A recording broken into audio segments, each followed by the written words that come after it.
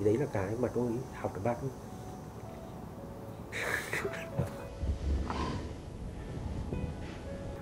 thì ba tôi hỏi tôi một câu là con ơi đứa con làm gì mà để cho ba đức nó đánh con như thế ừ.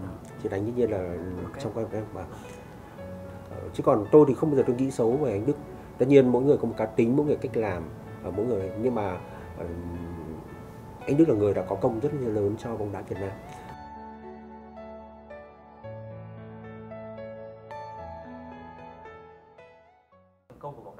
trong 5 năm vừa qua thì chúng ta thể không thể không nhắc đến một trong những con người đã đóng góp rất nhiều vào thành công của Futsal, bóng đá Việt Nam 11 người, thậm chí là V-League và VPF. Và ngày hôm nay thì chúng ta sẽ nói về ông Trần Anh Tú, Chủ tịch Hội đồng Quản trị kiêm Tổng Giám đốc VPF để nói về con đường đến với bóng đá của ông cũng như những gì mà ông đã trải qua những thách thức khó khăn để vượt qua và đến được thời điểm ngày hôm nay. Xin chào ông Trần Anh Tú ạ. Dạ vâng thưa ông Trần Anh Tú thì người ta nhắc đến hình ảnh của ông Trần Anh Tú ở một Futsal san cái thời điểm vòng chung kết Futsal san à, châu Á mà khi đó chúng ta giành quyền vào World Cup đó là lần đầu tiên trong lịch sử bóng đá Việt Nam chúng ta không nói 5 người hay 11 người lần đầu tiên trong lịch sử thì bóng đá Việt Nam vào đến một vòng chung kết World Cup. Và khi đó thì ông đã ôm một, là một người trong đội đấy và đến lúc đấy người ta bắt đầu biết đến Trần Anh Tú một trong những ông bầu của bóng Futsal. Vậy thì ông thể kể là cái cơ duyên nào để ông đến với bóng đá không? Ờ, tôi đến với bóng đá thì cũng rất là tình cờ thôi. Ờ, cũng chỉ là chơi phong trào. Ờ, khi mà lập cái doanh nghiệp riêng của tôi thì uh, tất nhiên thì ai cũng có cái niềm đam mê và tình yêu bóng đá thì tôi cũng mong muốn là công ty có một đội bóng để chơi sinh hoạt thể thao duy trì cái hoạt động tập thể. Thì tôi có lập đội bóng. Ờ, lúc đầu thì có lẽ là năm đầu tiên là khoảng năm 2001 nếu tôi nhớ không nhầm nó khoảng 2000 2001 thì tôi cũng lập đội bóng lúc đó công ty tôi là Aptech Sài Gòn. À, một công ty chuyên về làm ờ, phần mềm, đào tạo phần mềm. Đến năm ờ, 2003 thì tôi đã lập ừ, công ty Thái Sơn Nam. Thì khi đó thì mới ờ, đội bóng sẽ mang mang tên là ừ, Thái Sơn Nam. Lúc đó hoàn toàn chỉ chơi phong trào, và đá các giải phong trào thành phố Hồ Chí Minh ở sân cỏ để một người. Và thành phố Hồ Chí Minh thì thực sự là phong trào bóng đá thì rất là mạnh và rất là rộng tôi, tôi nghĩ rằng là đến thời điểm này có lẽ là là có lẽ phong trào bây giờ chưa chắc đã đã mạnh bằng thời gian trước sân cỏ ở sân cỏ. Vào thành phố Hồ Chí Minh thì mạnh cái phút san bây giờ là mạnh phút san hơn phút san mạnh hơn. Thì qua các cái giải đấy thì sự cũng là là là cũng nhằm cái để cho đội bóng của mình nó mạnh hơn thì mình cũng tìm các cái cầu những anh em trẻ thanh niên biết đá bóng tuyển vào công ty sẽ tùy người có công việc nào phù hợp thì mình thấy tuyển được thì mình tuyển lúc đó đội bóng thì hầu hết là toàn anh em thuộc trong ty thôi Đấy. Vâng. đến à, và cũng à, đến năm 2005 nếu tôi nhớ không nhầm thì lúc đó thì là ở thành phố Hồ Chí Minh hay có cái phong các giải futsal do câu lạc bộ 2030 tổ chức ờ, thì câu bộ này thì phải nói là giải của câu giải của câu bộ 20 30 này và chúng tôi hay nói rõ hay nói vui là giải 2030 Đó. thì phải nói là rất là mạnh rất là rộng và các doanh nghiệp tham gia thì nhiều vô kể à, chúng tôi cũng làm doanh nghiệp tôi cũng tham gia đăng ký tham gia và thực sự thì à, lần tiên thì mới biết Futsal và đặc biệt là năm đó thì thành phố Hồ Chí Minh lại là chủ nhà của giải à, vô địch Futsal châu Á ừ đăng cai cái giải ở, ở thành phố Minh.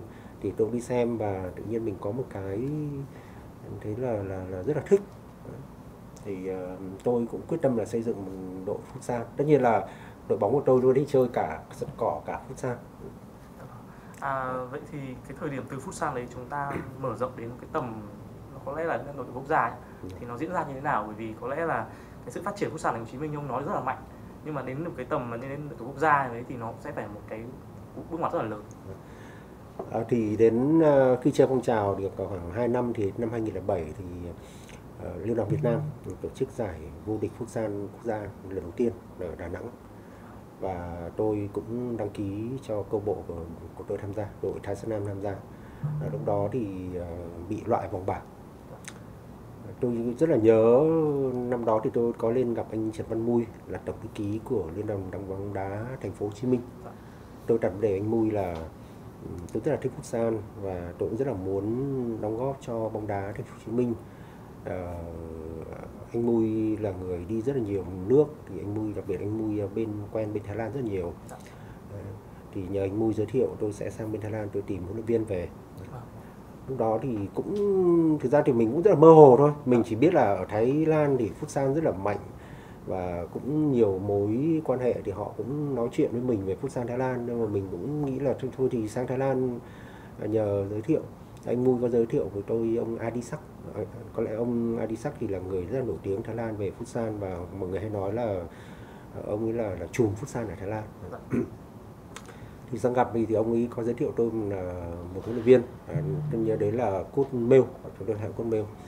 À, vừa sang ờ, khi mà sang Việt Nam thì cốt Mêu có có có à, xin lỗi Khambron à, ông, ông tên là Khambron à, vâng Khambron thì ông ấy ờ, sang hỗ trợ cho tức là sang huấn luyện cho Thái Sơn Nam. Thế nhưng mà ờ, lúc đó thì chúng ta lại tham dự ờ, năm 2007 thì chúng ta lại tham dự cái giải uh, Indo Game ở Macau Dạ. Đấy. và chúng ta có futsal nữ futsal nam là futsal nam thì do anh ờ, Long ờ, Nguyễn Văn Long nếu tôi nhớ nhầm họ tên thì là của huấn luyện viên ở thành phố Hồ Chí Minh anh ấy nắm đội nam còn đội huấn luyện viên trưởng đội tuyển nữ thì Liên đoàn Việt Nam mượn ờ, huấn luyện viên Cabron À, và lần tiên đội tuyển futsal nữ Việt Nam vào được bán kết và chúng ta suýt nữa vào được à, chung kết của của Giải ừm. thì đấy thì tôi cũng rất là là là mình rất là máu máu mê rồi trong đó năm đó thì chúng ta lại tham dự SEA Games nữa ở Thái Lan 2007 và đội futsal nữ chúng ta lại vào, vào chung kết và đạt huy chương bạc dạ vâng. đấy, đấy- là những cái dấu mốc mà mà mà mà tức là gọi là đầu tiên mình.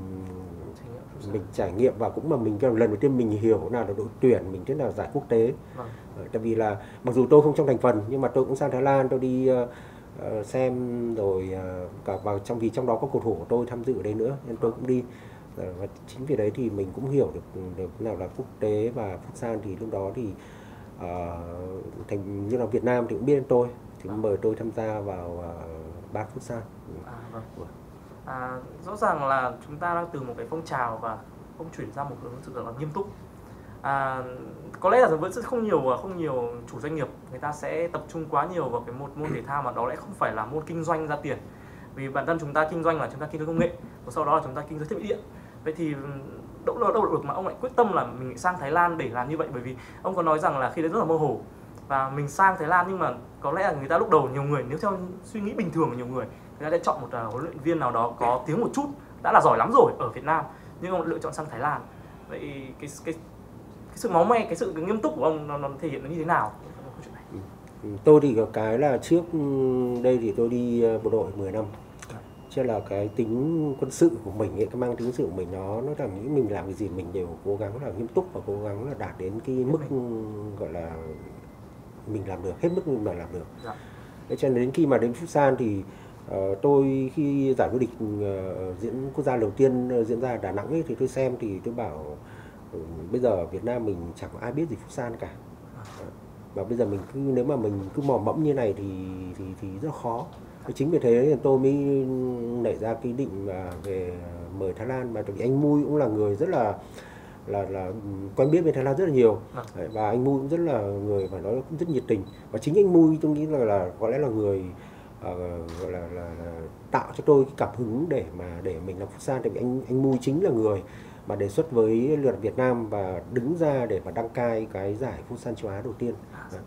thì và bản thân tôi thì với trong công việc nữa thôi. Khi mình làm gì mình cố gắng là ờ, tập tôi có một thời gian thì tôi làm ờ, trong công ty và chuyên môn về tiếp xúc với ờ, với cái các cái đối tác nước ngoài. À, và lúc đó thì chúng ta cũng biết là đối với Việt Nam thì mới mở cửa. Ờ, những năm 92 93 thì mới bắt đầu mở cửa. Chúng ta mới có luật đầu tư nước ngoài và tôi may mắn là tôi được làm với rất là nhiều cái cái ờ, đối tác. là người nước ngoài và họ cũng làm cho tôi thấy là mình phải chuyên nghiệp hơn và làm bất kể việc gì thì phải đến hết mức và Dạ đến, vâng. đến nơi đến chốn và phải rất là chi tiết. Thì chính vì như thế thì nó tạo cho mình cái cái thói quen và một cái cái cái, cái đặc cái cá tính của mình như vậy.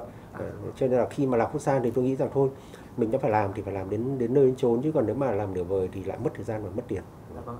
À, từ năm 2007 mà chúng ta được huy chương bạc SEA Games với futsal nữ và đến năm 2016 là chúng ta vào giành vé dự World Cup. Vậy thì trong cái khoảng thời gian đấy thì chúng ta có những kỷ niệm về, futsal mà làm thế nào để có một cái bước tiến futsal nó mạnh mẽ như vậy bởi vì nói gì nói thì bóng đá hiện tại ở Việt Nam thì chúng ta vẫn có sự coi trọng ở nó 11 người bóng đá futsal thì nó sẽ tập trung ở từng khu vực một ví như Khánh Hòa, Thành phố Hồ Chí Minh. Vậy thì cá nhân ông thì đâu là cái kỷ niệm để có một cái bước tiến nó vượt vượt bậc đấy bởi vì cái trận đấu với Nhật Bản nó mang đến quá nhiều cảm xúc cho người Việt Nam. Ừm, có lẽ phải nhắc lại một chút tức là lần khi mà tôi ờ, bắt đầu quyết tâm mà tách futsal ra 2007 thì tôi bắt đầu quyết định là sau giải vô địch quốc gia tôi quyết định tách đội futsal ra đội khỏi cái đội phong trào 11 người. Dạ. và tôi quyết tâm là xây dựng theo hướng chuyên nghiệp. Vâng và lúc đó tôi cũng tổ chức tuyển người và anh Ngô Lê Bằng chính là người đầu tiên giúp cho tôi việc tuyển các cầu thủ. Và đặc biệt là đến thời điểm này thì các lứa cầu thủ đấy rất nhiều người đã trở thành các huấn luyện viên uh, gọi là gọi tôi nghĩ rằng là là tốt nhất của Việt Nam hiện nay. À, thí dụ như uh, Phạm Minh Giang đang là huấn luyện trưởng của đội tuyển nam hiện nay uh, huấn luyện viên Trương Quốc Tuấn cũng là đang huấn luyện trưởng của đội tuyển futsal nữ và cái và các một số lĩnh vực khác thì đều đều đang là các huấn luyện viên cho cho Thái Sơn Nam. Thì đến 2008 là tôi tuyển tiếp lứa trẻ nữa. Và chính cái lứa trẻ đấy là cái lứa mà uh, gọi là là, là đã um, rất là nhiều cầu thủ đóng góp cho đội tuyển. Về sau này thì năm uh, trải qua cái việc mà mời điều đầu tiên thì tôi tôi nghĩ rằng là muốn cầu thủ giỏi thì phải có huấn luyện viên giỏi. Chính vì thế như là sau khi mà 2009 tốt à, chúng ta thất bại thất bại rất là nặng nề ở indoor game tổ chức ở Việt Nam, cả futsal nam và futsal nữ. Thì tôi quyết định là ờ, huấn luyện viên Thái Lan thì mình đã giúp cho mình cái thời gian ban đầu rồi. Bây giờ phải mời huấn luyện viên châu Âu thôi. Là những người mà họ họ, họ sẽ có những cái tầm nhìn rộng hơn họ sẽ nâng cấp được cái cái, cái chất lượng của đội tuyển mình lên thì tôi cũng giống như tức là nói nôm na thì lúc tôi hay nói là ôi chúng ta tốt nghiệp cấp 1 rồi bây giờ lên cấp 2 thì phải mời mời để mời giáo viên cấp 2 Dạ. tôi nói thế thì dễ hiểu Vâng. thì chính ờ, và cái trước khi mà 2016 ấy thì một kỷ niệm có lẽ là tôi nghĩ rằng là là, là rất là một cái dấu mốc phải nói là cũng là quan trọng và cũng là cũng một lịch sử của futsal Việt Nam là 2010 ở ờ, chúng ta có dự cái vòng loại chung kết giải futsal châu Á tổ chức ở Indonesia và tổ chức đúng vào dịp Tết Nguyên đán của Việt Nam. Ừ. Và lúc đó thì huấn luyện viên tôi mời được huấn luyện viên ờ, Sergio, Sergio Gazzoli, ông ấy là người Italia, ông đang làm việc ở Nhật và tôi mời ông sang thì ông ấy có nói với tôi là ông đề xuất ký hợp đồng ờ, 3 năm. Thì tôi bảo này bây giờ nếu mà ký 3 năm mà tôi thì cũng chưa nắm rõ được chất lượng ông như nào chưa biết được. Nhưng mà nếu ông mà khẳng định ông giỏi lúc tôi cũng liều. Dạ. ông mà khẳng định giỏi thôi chúng ta ký hợp đồng. Nếu mà ông đưa đội tuyển Việt Nam vào vòng chung kết châu Á tôi sẽ ký hợp đồng với 3 năm. Và năm đó thì chúng ta lần đầu tiên lọt vào vòng chung kết châu Á ở Indonesia vào đúng dịp Tết Nguyên đán phải nói đến một kỷ niệm có lẽ là không không bao giờ quên Vâng, có điều. Vâng. Vâng. thì sau khi mà chúng ta ông ông Sergio Gazzoli làm ở Việt Nam gần như vậy gần 4 năm thì tôi ờ, thấy rằng là à, để nâng cấp hơn nữa thì có lẽ là cần phải đến Tây Ban Nha chính vì thế thì Chúng ta đến cấp 3 rồi đúng không? vâng lên cấp 3 Dạ. thì ờ, ờ, ông Gazzoli có đặt vấn đề gia hạn hợp đồng thì tôi từ chối Dạ. Người nước ngoài họ rất là chuyên nghiệp Vâng. Ờ, họ rất chuyên nghiệp họ bảo đấy mày có ký hợp đồng với tao nữa không tiếp tao không Vâng. đấy. trước đấy 6 tháng bảo không tao sẽ mời huấn luyện viên khác tao tìm huấn luyện viên khác Vâng. ừ.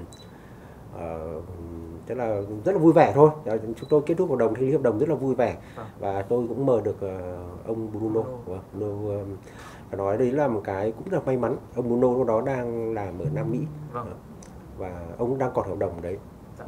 thế thì ông ấy mới khi mà đặt vấn đề thì ông ấy bảo là mày phải tao suy nghĩ đó ừ. tao muốn sang làm thì là phải cảm dự án chứ không phải là chỉ là làm một huấn luyện viên không Dạ.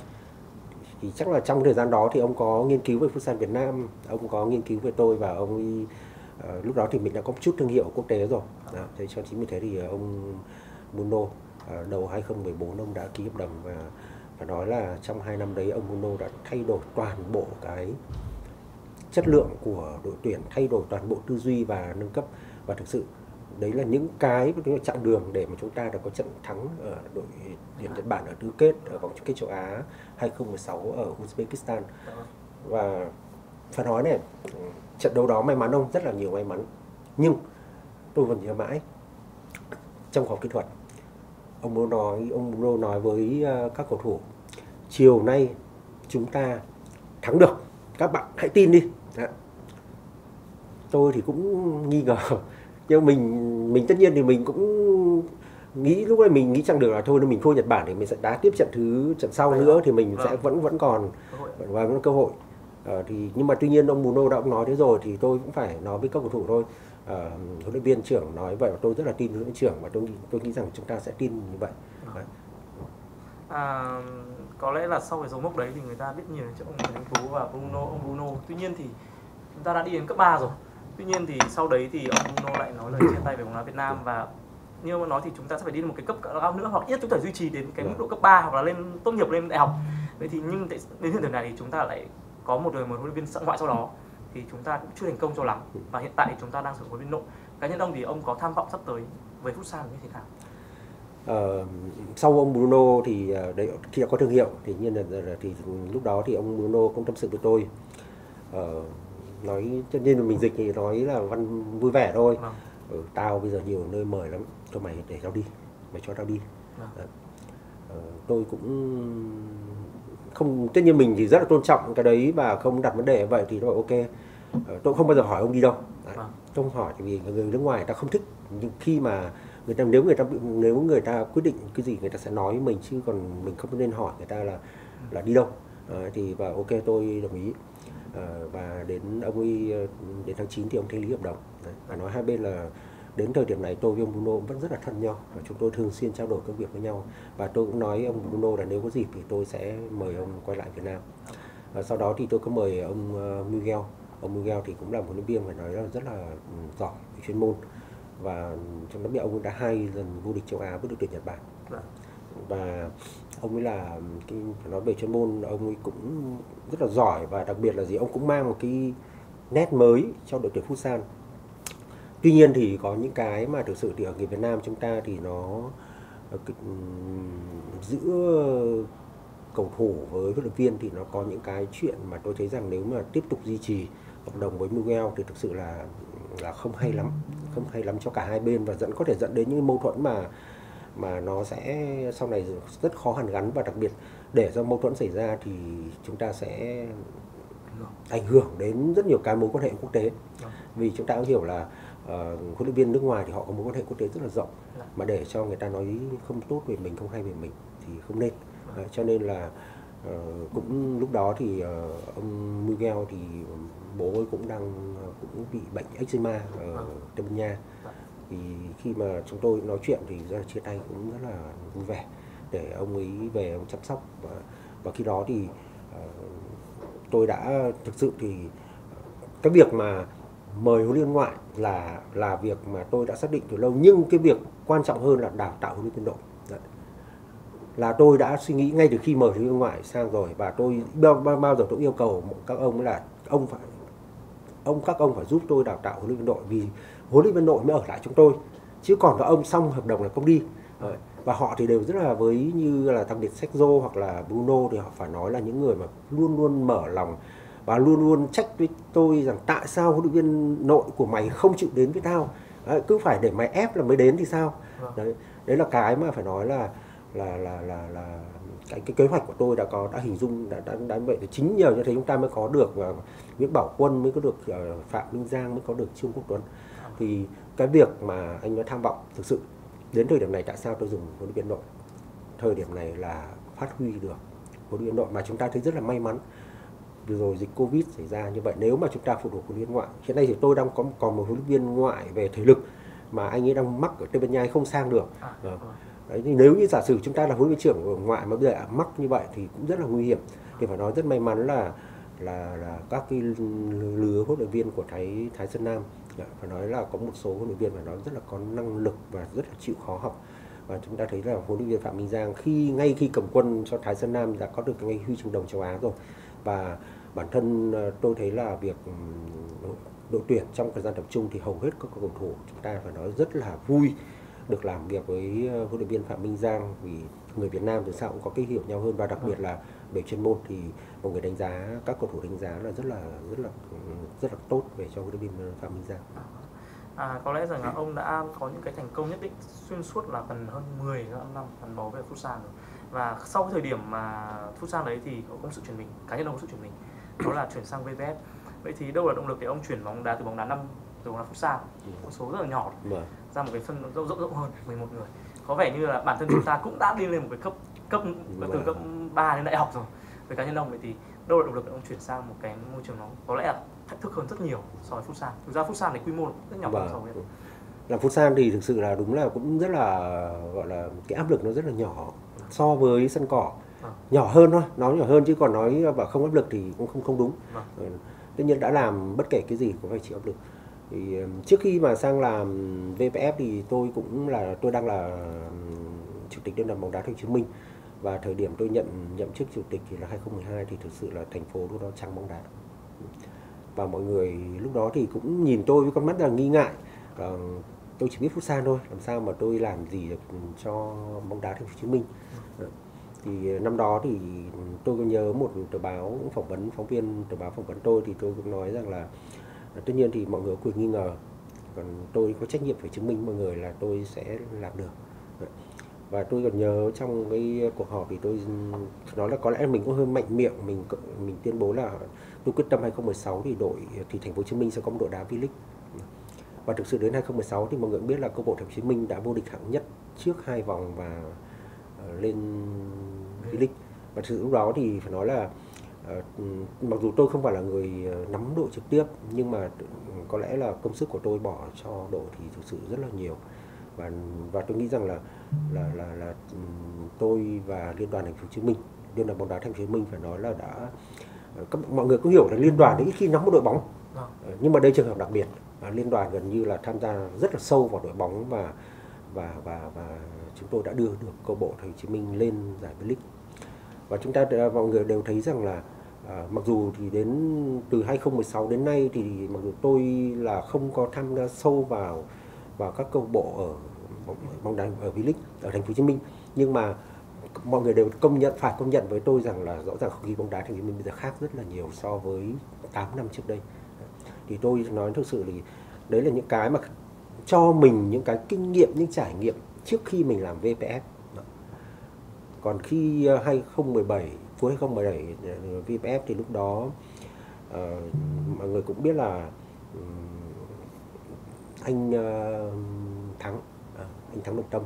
Thì vâng anh Võ Quốc Thắng thì anh cũng đã 6 năm là hội đồng quản trị rồi. Thực sự anh ấy cũng nguyện vọng của anh là nhường nhường cái chức đó cho người khác. Thì lựa liên đoàn thì cũng là nhìn rất là tìm rất là nhiều người. Thì lúc đó thì anh Trần Quốc Tuấn thì cũng gợi ý ờ, tôi ra thay mình là sẽ đại diện vốn cho liên đoàn ở VPF và tham gia ứng cử. Thì thực sự lúc đó nó thực là tôi cũng rất là ngại. Và bản thân mình nghi ngại bây giờ làm V-League thực sự vô cùng phức tạp và cực kỳ là sẽ sẽ sẽ rất là chịu áp lực rất là lớn. Nhưng thực ra thì dù sao thì mọi người cũng biết là một thằng đàn ông một con người bao giờ cũng có một chút gì đấy thăm gọi là gọi là khát vọng. khát vọng ờ, muốn làm cái gì nó đóng góp thực sự là thế. Và, bản thân nghĩ tôi đến bây giờ tôi nghĩ rằng là tôi đóng góp thôi. Mình hy sinh rất là nhiều. Hy sinh thời gian hy sinh tiền bạc hy sinh sức lực và đôi khi là cả cả gia đình nữa. Mình gần như mình ở Hà Nội nhiều hơn là ở, ở nhà thì chính vì thế thì tôi mới ờ, ừm, 2017 cuối năm tháng 12 2017 thì tôi nhận lời sẽ ra ứng cử. ờ, Ờ, đại diện vốn tức là tức là mình là đại diện vốn cho liên đoàn bàn bóng đá à, Việt Nam tại công ty cổ phần bóng đá chuyên nghiệp Việt Nam. Và tôi đi trúng cử ờ, hội đồng quản trị và mọi người bầu tôi lên chủ tịch Hội đồng quản trị. thì nói thật sự lúc đó thì bỡ ngỡ vô cùng với công việc. Và ừ, anh Cao Văn Trọng lúc đó thì đang là tổng đốc. Thì tất nhiên là, là hết nhiệm kỳ cũng hết nhiệm kỳ thì thay đổi. Thì lúc đó thì ừ, Ờ, mọi trong hội đồng quản trị thì bảo thôi tôi kim tổng đốc luôn để tạm để bổ nhiệm sau tìm tìm tổng đốc sau. Thì lúc đó thì tôi cũng bảo với cháu hay là thôi cháu ở lại với anh làm thì trước mắt để làm phó tổng đốc trước. Ừm. Tuy nhiên thì bên bên comeback thì giúp anh giúp anh cao cháu về.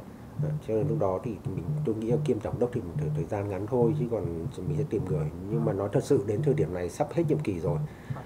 Tìm được một người có lẽ là để làm tổng đốc cho VFF mọi người cứ hay nói là ừ, Việt Nam thiếu gì người làm bóng đá. Mà đúng là rất nhiều người giỏi hơn tôi rất nhiều người có khả năng làm tốt hơn tôi rất nhiều và rất nhiều người có thể làm chức tổng đốc của VFF nhưng họ có nhận làm hay không là một chuyện khác.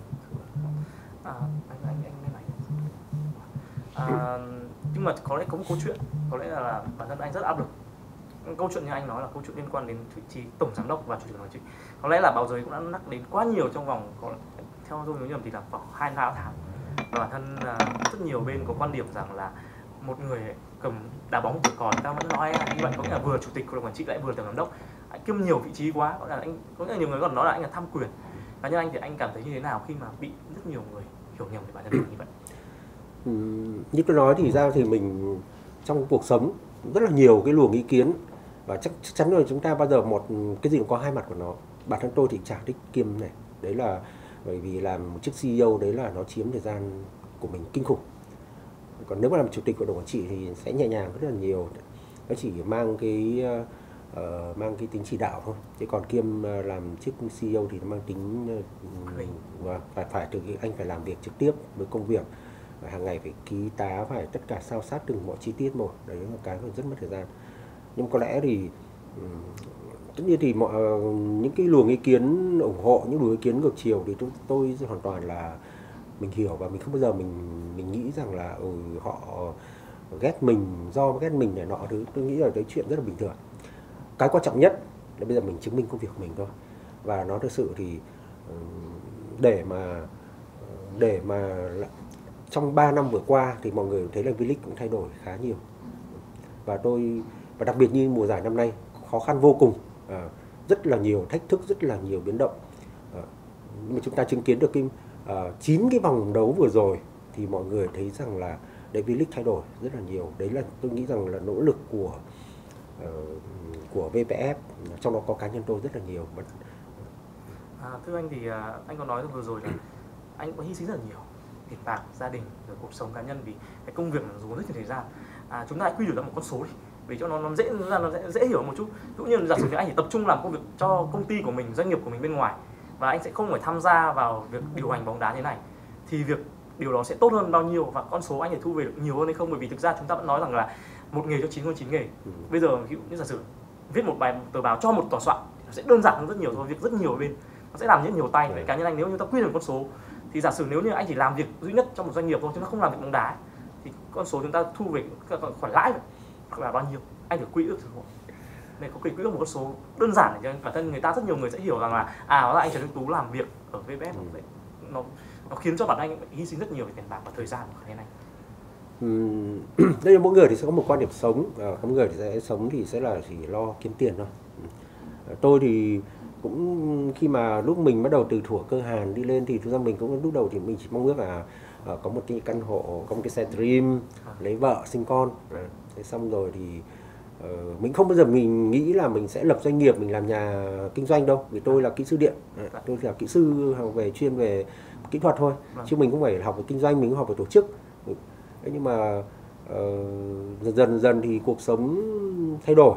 Uh, mình tôi thấy là uh, mình đã lập được doanh nghiệp mình cũng phải nói là cũng có lẽ là cũng có một chút thành đạt về về trong kinh doanh. Uh, thì um, và cũng là là trong cái ngành kinh doanh của mình thì đều là là có thương hiệu. Công ty của tôi là có thương hiệu trong cái ngành của mình đang kinh doanh. Thì nhưng mà tức là mỗi người thì có có thể là nếu mà tôi mà chỉ chăm chăm kiếm tiền thôi ok thì tôi nghĩ rằng là mặc dù có thể mình không kinh doanh bất động sản nhưng mà chắc là nếu mà mình cứ bỏ cái tiền đấy ra mua biệt thự mua nhà thì có lẽ là không biết bao nhiêu cái bây giờ chỉ tập trung rất là doanh nghiệp chứ không làm bóng đá vâng. vậy thì nếu chắc là giả sử nếu chúng ta tập trung vào làm bóng đá này bây giờ ta có một câu hỏi ngược lại là anh sẽ nếu hy sinh rồi bây chúng ta đã nói về mặt ta được được mặt được yeah. Dạ. chúng ta với bóng đá anh có cái danh tiếng rất nhiều để phút san rồi nhưng vậy thì 3 năm vừa qua anh dành thời gian cho với thì cá nhân anh, anh được những cái gì ngoài trải nghiệm ra ờ, tôi thì tôi nghĩ rằng là cái quan trọng nhất ấy tức là mình không mình không nghĩ về cái cho cá nhân mình đâu tôi nghĩ rằng là trong 3 năm vừa qua thì cái V-League có lẽ là tốt lên cũng như là với những cơ sở những cái nền tảng mà 6 năm trước đây ờ, uh, VPF đã đã xây dựng thì tôi đã phát huy được và nâng nâng nâng nâng cấp lên về V-League. Chúng ta biết là V-League Việt Nam mình mặc dù nó là chuyên nghiệp nhưng thực ra thì vẫn còn rất nhiều yếu tố còn chưa chuyên nghiệp. để với những khó khăn hiện nay mà để duy trì được V-League thực sự là nó có hình ảnh đẹp thì rất là khó vô cùng ờ, nhưng mà phải nói trong 3 năm vừa qua thì trong hội đồng quản trị và cũng đặc biệt các cũng nhiều câu bộ thì cũng phải công nhận với tôi rằng là hình ảnh của V-League đã đẹp lên rất là nhiều.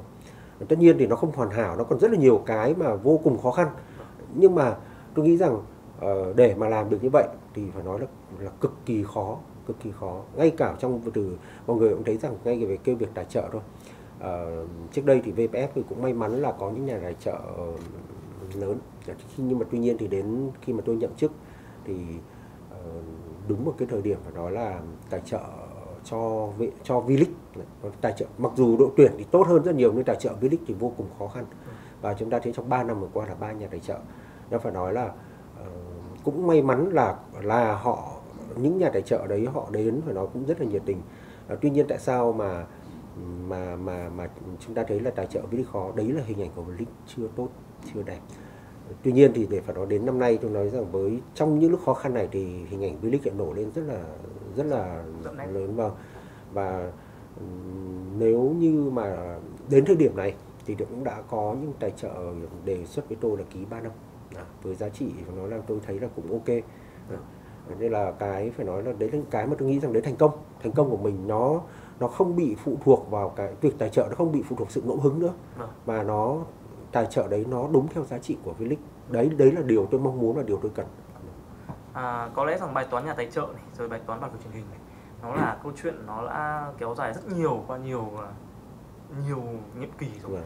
và nhưng cái năm nay là cái năm nó phức tạp hơn là nó bị chi phối rất nhiều bởi dịch covid và có lẽ rằng là chưa bao giờ có một cái năm mà chúng ta đau đầu đến như vậy à, xin được hỏi anh là trong những ngày vừa qua dịch covid anh ngủ bao nhiêu tiếng? Uhm, khoảng 4 năm tiếng. Vâng Đúng không? tại vì tất nhiên là tất nhiên là mình đã phải suy nghĩ rất là nhiều về cái việc đó là ngay khi mà vừa rồi khi mà ờ, covid tái xuất hiện ở đà nẵng thì bản thân ờ, mọi người cũng đã hỏi với tôi là là cái định hướng như nào liên đoàn hỏi với tôi là bây giờ định hướng của VF là như nào. Thì tôi bảo điều đầu tiên thứ nhất ấy chúng ta phải chờ quyết định của địa phương. Ờ, địa phương phải chuẩn bị chúng ta phải theo cái ban chỉ đạo covid của địa phương. Thứ hai là Ờ, nhưng mà tuy nhiên thì tôi nghĩ rằng là nếu mà phương án đẹp nhất ấy để đá không khán giả, còn nếu như mà họ không tổ chức thì có lẽ là chúng ta phải, họ không cho phép tổ chức thì chúng ta, có lẽ chúng ta phải tạm dừng. Và đến như ngày 25 tối 25 thì có lẽ là Đà Nẵng, ủy ban nhân dân Đà Nẵng đã có cái văn bản vào ngày 26 sáng 26 khi tôi tỉnh giấc, tôi nhìn thấy có văn bản đấy là tôi đã quyết định phải dừng phải dừng giải. Đấy là cái phải nói là cũng cực kỳ khó khăn cực kỳ khó khăn. Nhưng mà tôi nghĩ rằng bây giờ hợp lý nhất là dừng giải vì nếu chúng ta không thể nào mà mà cố gọi là hay nói vui là cố đấm ăn xôi được à. bây giờ hải phòng không thể đến đà nẵng để đá được. Và nếu như các trận đấu đều cùng giờ đấy là những cái mà mình phải tư duy rất là nhanh. À. và lập tức thì tôi sẽ trao đổi với liên đoàn tôi gọi điện cho các bộ phận và lập tức là tôi đổi vé bay ngay từ Sài Gòn ra Hà Nội luôn. Và chúng ta biết là đến chiều hôm đó thì là VFF đã ra cái thông báo để dừng giải. Và mấy ngày hôm nay phải nói là cũng rất là Ờ, là là và tức tức là căng thẳng về cái ở đây tôi là tôi luôn luôn bình tĩnh và tôi không bao giờ tôi không bao giờ bị bối rối không bị rối trí với với những với những cái tình huống này. Nhưng căng thẳng đây là gì? Mình mình nghĩ ra phương án nào à, thích hợp nhất. Đó ví dụ như tình huống phát sinh của than của ninh phải cách ly. Tôi cũng đã nghĩ rồi nhưng mà đã gọi gọi điện xuống câu bộ than quảng ninh bây giờ như tình hình như nào bảo ok không vấn đề gì. Vậy là chúng, các bạn sẽ đi được ở ừ, hà tĩnh phải không? Bảo ok thì chính vì thế mới ban hành lịch. Chứ đến ngày hôm qua chiều hôm qua là y tế của Quảng Ninh xuống câu lạc bộ và yêu cầu bộ phải cách ly. À, thì mới phát sinh tình huống là chúng ta phải đổi lịch. Và và tôi cũng trao đổi ngay với anh Hùng chủ tịch câu bộ. Và thế bây giờ là ngày nào các anh sẽ thể đá được. Đấy, để và tôi sẽ báo cáo liên đoàn để thay đổi. Và anh Hùng nói rằng là ngày mùng năm tại vì mùng 2 mùng ờ, hết thì mùng 3 di chuyển được mùng 5 đá. Nhưng thực sự đến thời điểm này uh, tôi hiểu rằng là việc ban hành lịch là để chủ động với tình với với thời điểm này. Vâng. còn diễn biến của dịch thì rõ ràng chúng ta sẽ còn phải cũng phải còn phải theo dõi. Và thực sự thì cũng rất là hy vọng chúng ta đang hy vọng là sẽ tổ chức được. Còn nếu mà không tổ chức được thì chúng ta lại phải là phải tạm dừng vì cái đó là điều bất khả kháng về dịch. Chúng ta lại thêm một phần khác. Vâng. à, chúng ta lại nói về quan điểm lãnh đạo một chút nó mang tầm vĩ mô cao một chút. Có lẽ anh là người lãnh đạo rất nhiều người. Bản thân anh từ doanh nghiệp của anh rồi Foodsan rồi bây giờ là lãnh đạo của cả một cái công ty. Chúng ta chưa nói đến rồi rộng hơn là cả cái V-League thì ờ, có một cái quan điểm như này. Đấy là anh Nguyễn Hữu Thắng anh có nói rằng Ừ. là khi làm huấn luyện viên trưởng thì anh là một người khá đánh thép. Nhưng khi là một chủ tịch của một câu lạc bộ anh có sự mềm mỏng nhưng có lẽ rằng như ngày hôm qua cuộc phát biểu của anh trước báo giới anh có sự cương quyết rất rõ ràng trước việc là rất một số câu lạc bộ thì đòi là hủy. Có nghĩa là bản thân trong một tập thể chúng ta không bao giờ để đòi hỏi là họ có thể trọn vẹn với mình 100% cả sẽ có những quan điểm phản biện mình. Nhưng có lẽ hôm qua anh thể sự cương quyết vậy cá nhân anh thì cái quan điểm lãnh đạo phải là có một người có sự cứng rắn cương quyết hay là một người có sự mềm mỏng và tùy theo số đông? Ừ, phải cả hai phải cả hai và tùy theo tình huống. Ờ, bản chất người lãnh đạo là phải phải ờ, thuyết phục và tập hợp. Tuy nhiên ở trong những tình huống mà cần sự quyết liệt thì thì người lãnh đạo phải quyết liệt không thể nửa vời được. Ờ, trong cái tình huống hôm qua họp báo qua thì thực sự là uh, chúng tôi đã họp thường trực và thường trực đã quyết định là phải tổ chức giải. Vì cái này thực sự là chính phủ cũng mong muốn mong muốn là các giải thể thao được tiếp tục và không bị uh, không bị dừng đấy là cái mà hình, nó là hình ảnh của của đất nước. Thì chúng ta thấy rõ ràng là vừa V-League là đã mang hình ảnh rất đẹp cho cho đất nước Việt Nam. Cho nên là ở đây tôi tôi quyết liệt trên cơ sở là đã có quyết định của thường trực và tập thể. Ờ, tất nhiên thì mọi ờ, có thể là trong cái diễn giải của mình, trong câu nói của mình thì nó có thể là sẽ bị ờ, hiểu lệch đi một chút. Hôm qua bốn câu bộ thì cũng phản ứng với tôi. À Ờ, tuy nhiên thì sau đó tôi có điện lại ờ, cho các bộ tôi nói rõ đây là ý của tôi việc việc dừng giải là thực sự là đến một cái phản ứng tiêu cực với những nỗ lực của của chính phủ đang làm vì chính phủ không muốn không muốn. Để nếu như chúng ta mà dừng giải thì khác gì chúng ta công nhận sự thất bại. Đấy. chưa kể ở đây chúng ta phải nói là cái việc tại sao tôi ra trả lời quyết liệt như vậy vì việc dừng giải nó ảnh hưởng kinh khủng. Ờ, sẽ chúng ta phải đền bù hợp đồng hàng chục tỷ các câu bộ có dám bỏ tiền ra để đền bù không? Chưa kể uy tín mất đi và sẽ không ai tài trợ chúng ta nữa. Đấy là cái hậu quả mà mà người lãnh là đầu đầu tiên là tôi. Nhưng cho nên là ờ, là là mọi trong cái cuộc họp báo hôm qua thì tôi cũng phải thể hiện cái sự cứng rắn. của mình mà. À, chúng ta đã biết đến là một à, ông Trần Anh Tú hết mình về bóng đá rồi một người cứng rắn ông tùy trường hợp ông anh lãnh đạo và một người rất là nhanh nhạy trong từng trường hợp xảy ra. Nhưng có lẽ rằng là có một hình ảnh cách đây khoảng tầm hàng hai năm về trước thì ông có từng khóc khi mà đang họp báo khi mà nhắc đến chúng ta hay nói chút Vâng. gia đình Vâng. đó là bố của ông. Vậy thì à, xin phép hỏi ông rằng bố của ông là một ảnh hưởng thế nào đến cuộc sống của ông trong suốt những năm vừa qua? Bởi vì có lẽ một người Anh Tú này thì có lẽ người bố của mình mang ảnh hưởng rất lớn từng quan điểm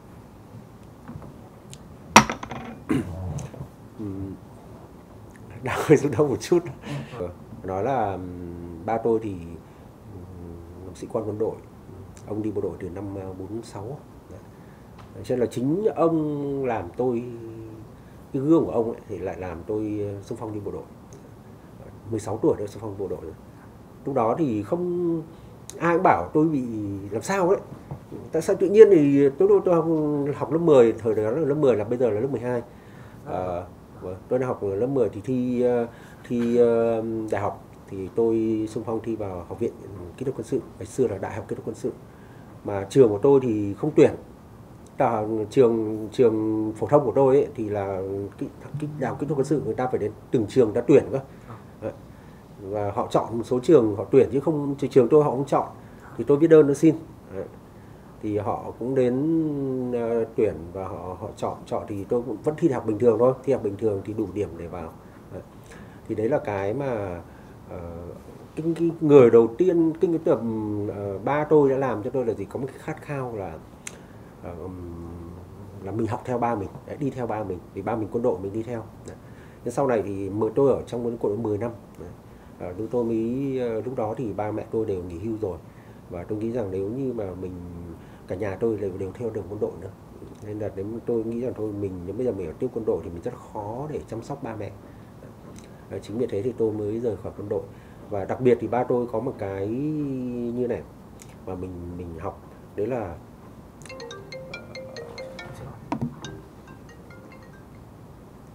em phải tắt máy đi mới ghi âm được. Không?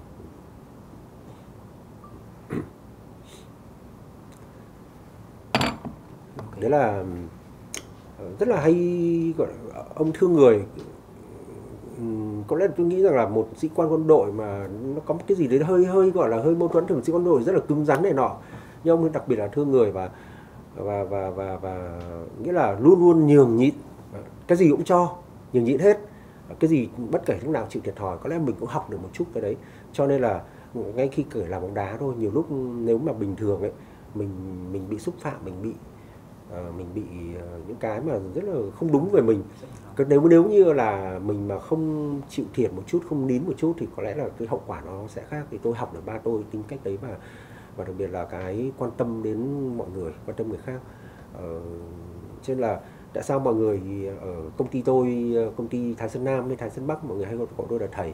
Và tôi không hề dạy họ học thì cũng chỉ cũng thể là vì một cái tính cách của mình họ làm mình làm cho họ người ta nghĩ đấy là một người thầy và cũng có rất là vui là một số bạn thì cũng bảo tôi là người cha thứ hai của họ. Thì đấy là cái mà tôi học được bác à, em đã hỏi thêm cái hồi đấy là đó là lúc mà chúng ta đang có một cái tin là anh ứng cử vào cái vị trí phó chủ tịch tài chính. Ừ.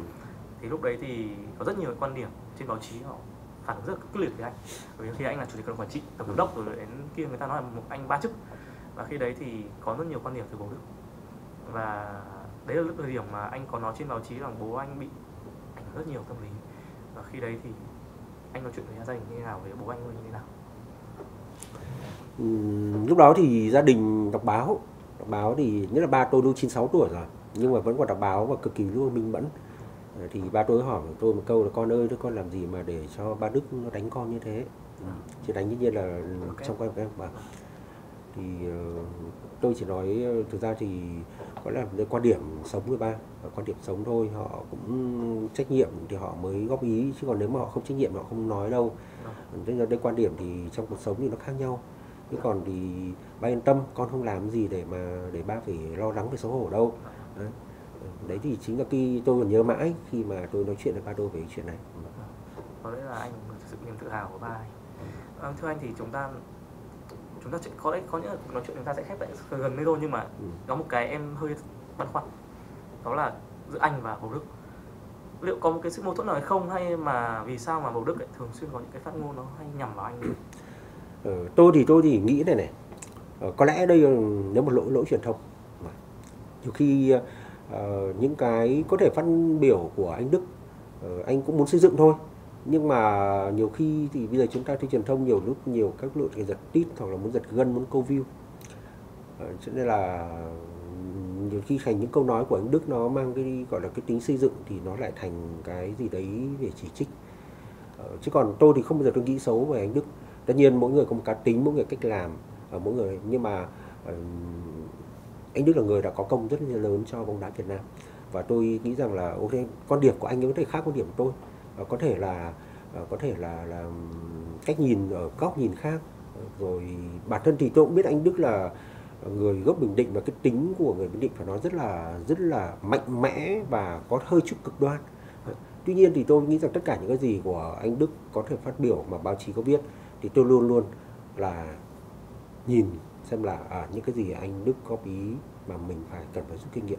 Chứ còn nếu như mà mình cứ nghĩ rằng là à anh ấy ghét mình anh ấy chỉ trích mình này nọ thì thực sự uh, nó sẽ không có thể không không không đúng. Và thứ hai gì? Mình nghĩ rằng uh, bất kể với quan điểm của tôi thì bất kể ai góp ý cho mình thì thực sự có thể là mình nghe hay không nghe nhưng luôn luôn mình phải suy nghĩ là tại sao mình người ta nói như vậy.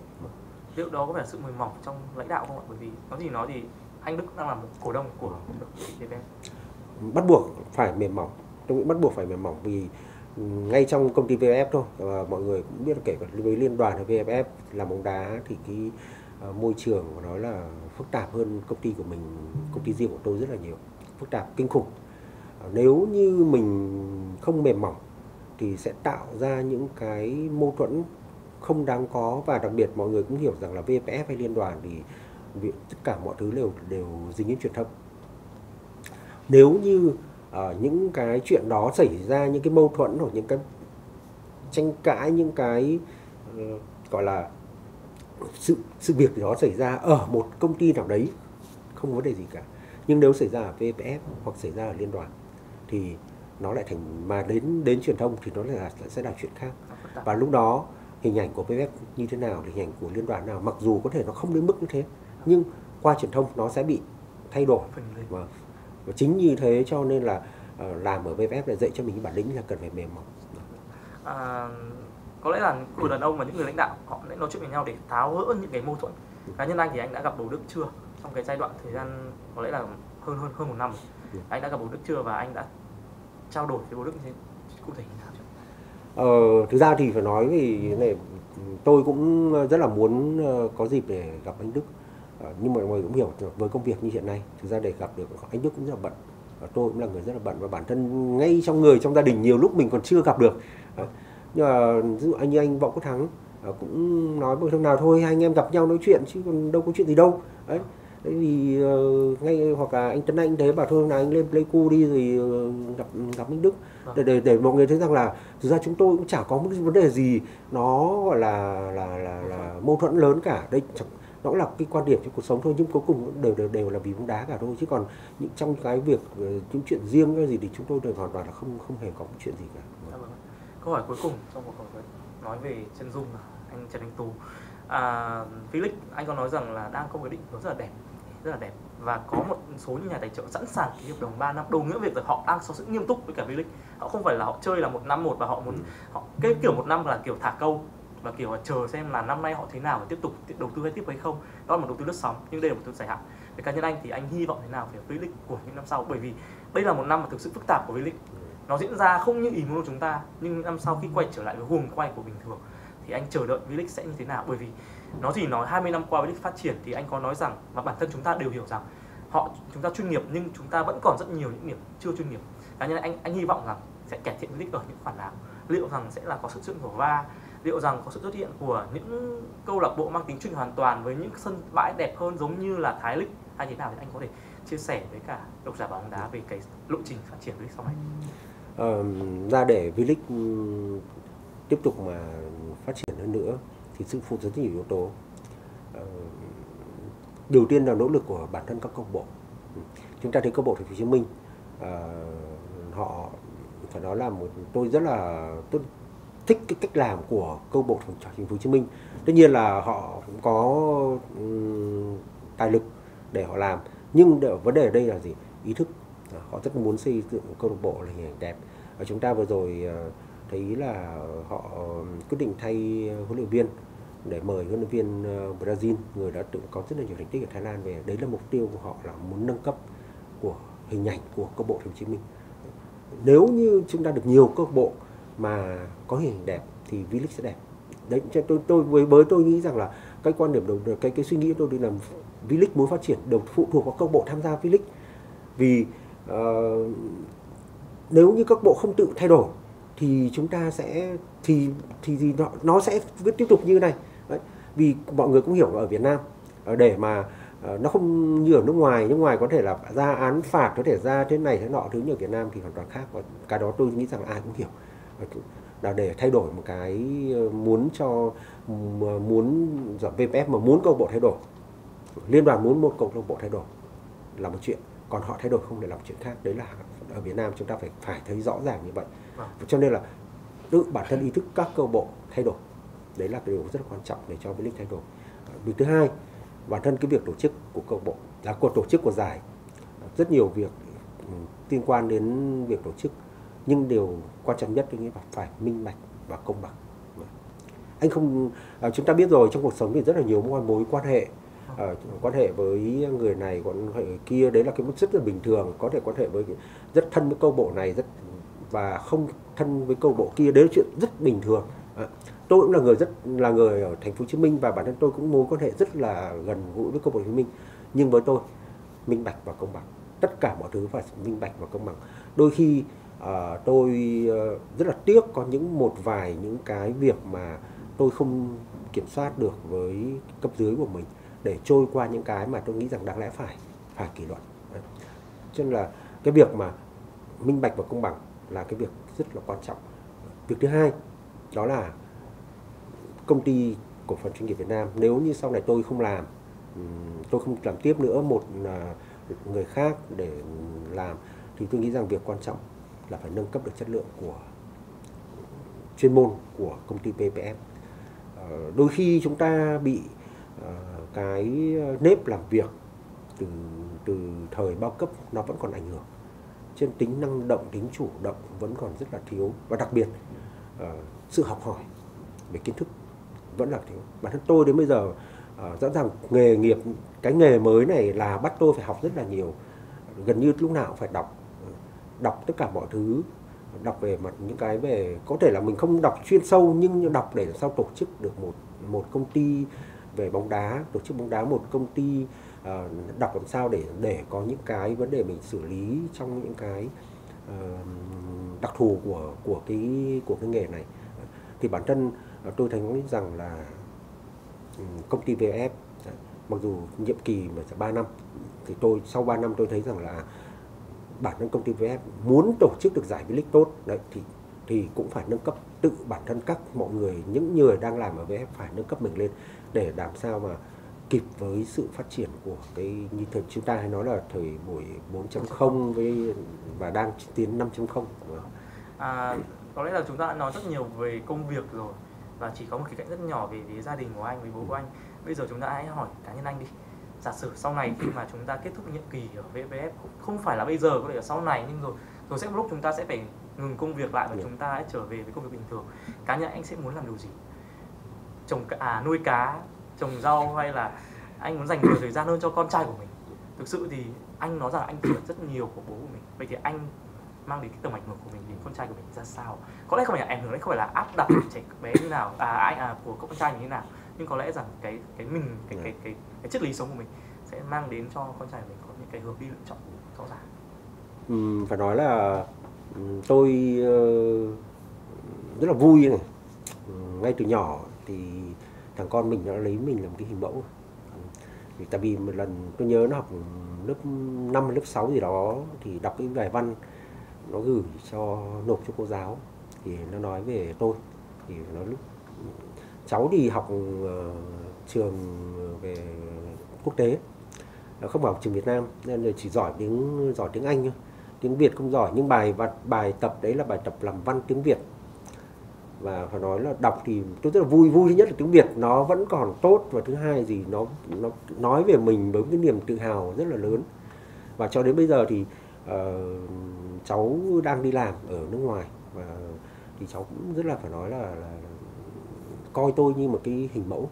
Ờ, và ờ, khi mà tôi nghĩ là khi mà cháu về Việt Nam thì chắc cái điều mà bản thân bây giờ cháu đang muốn theo nghề tôi là nghề đang đang nghề kinh doanh của tôi là nghề về về thiết bị điện.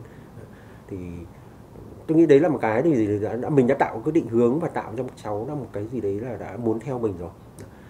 Còn tất nhiên về cái triết lý sống hoàn toàn thì hai cái tuổi khác nhau trên lệch khác nhau thì tất nhiên là mình phải luôn tôn trọng. Nhưng cái quan trọng nhất à, tôi muốn con mình và bản thân là tôi cũng thấy là cháu đã có một cái gì hình ảnh về cái nhân sinh quan cũng như cái thế giới quan phải nói là và mà là tôi rất hài lòng đấy là rất là là là, là văn minh trong cuộc sống. Tất cả mọi thứ cháu đều xử sự văn minh ờ, và tự lập không bị phụ thuộc vào vào tôi. Đấy là cái mà thằng nói tôi rất là ờ, hài lòng. Tại vì thực ra thì bố mẹ thì cũng chỉ mong muốn con cái trưởng thành và tự lập. Đấy là điều quan trọng nhất. Hãy là một công dân bình thường của đất nước. Chứ cũng tôi không muốn con tôi là phải giám đốc phải thành đạt thế này nọ thứ. Đấy là phải do năng lực của cháu. Còn điều quan trọng nhất thì tôi thấy rằng là cháu đang sống rất là văn minh và và phải nói là làm cho mình cảm thấy yên tâm. Mình không phải lo lắng là sẽ phải uh, sau này khi mình về già mình cũng phải lo cho con mình. Đấy, thì đấy là cái mà hiện nay tôi thấy là chắc chắn là con nếu mà khi mà cháu có về nước có tất nhiên thì cháu ở nước ngoài rất là lâu về Việt Nam thì chắc rất, rất nhiều cái ngỡ ngàng nhưng mà với những cái kiến thức đã học được với những cái năng lực và bản lĩnh thì chắc chắn là sẽ sẽ hòa nhập lại với cuộc sống Việt Nam tốt. Vâng, xin không cuộc trao đổi ạ.